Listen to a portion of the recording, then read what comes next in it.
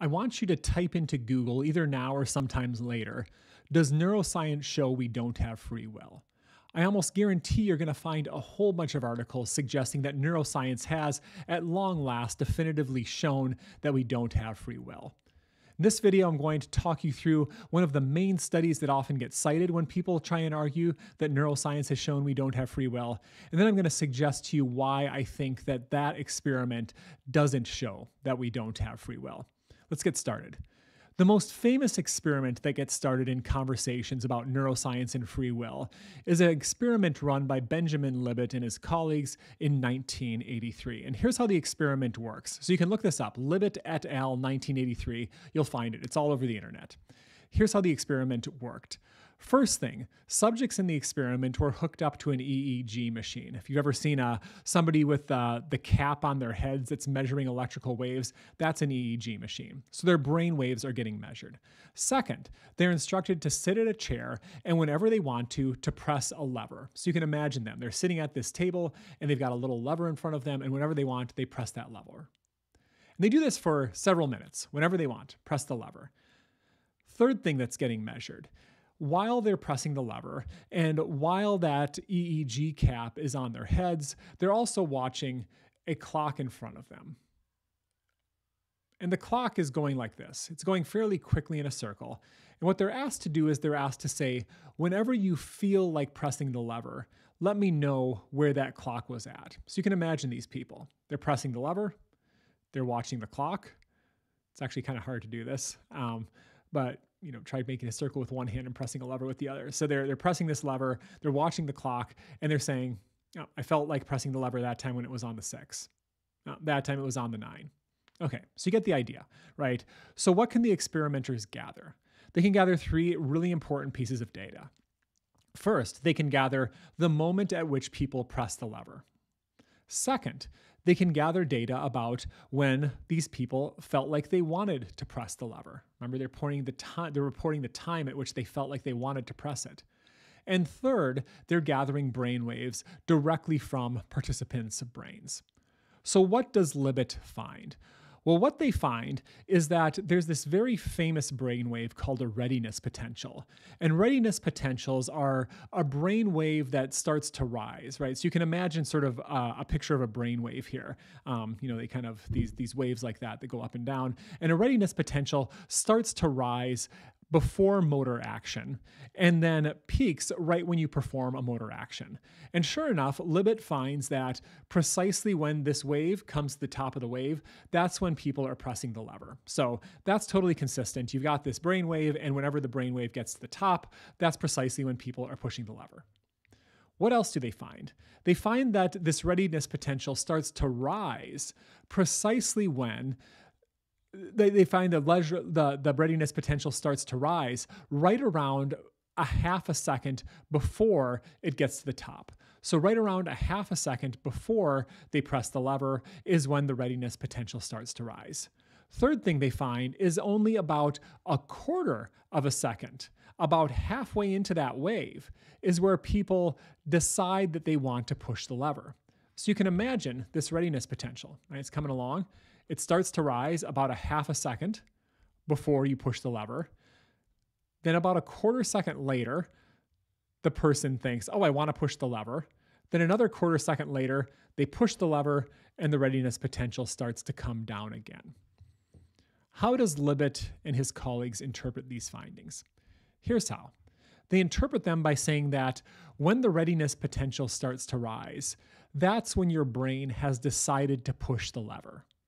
It's only a quarter second later, again, as this readiness potential is rising, that you become aware that you want to push the lever. And a quarter second after that, that you actually push the lever. How to understand this? Well, according to Libet et al., what has happened is your brain has decided to push the lever before you do.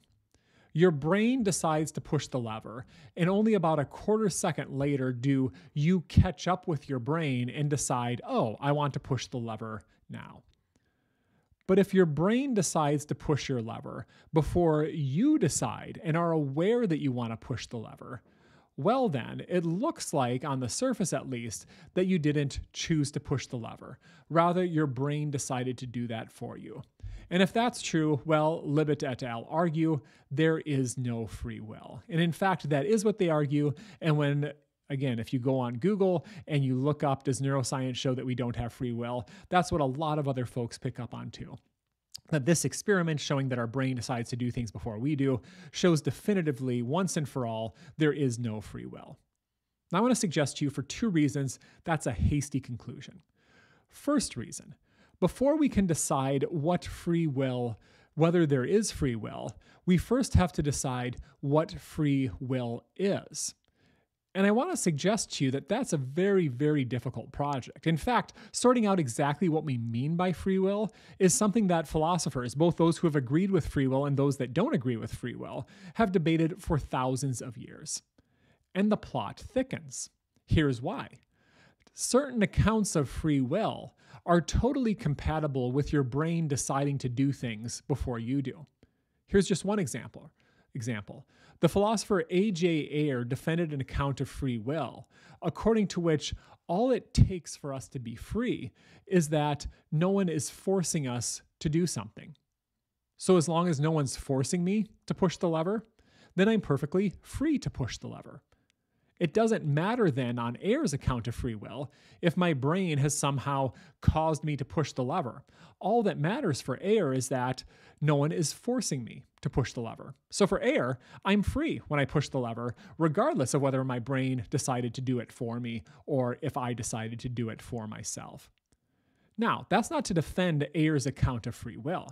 All that's to say is that on some accounts of free will, your brain deciding to do things before you do might show that you don't have free will. But on other accounts, it doesn't. What does that mean? It means that before we decide whether neuroscience can show we don't have free will, we first have to determine what we mean by free will. On some accounts of free will, neuroscience maybe does show we don't have it, but on others, it definitively doesn't. The question, however, of how we understand what free will is and how we define free will is a distinctively philosophical one.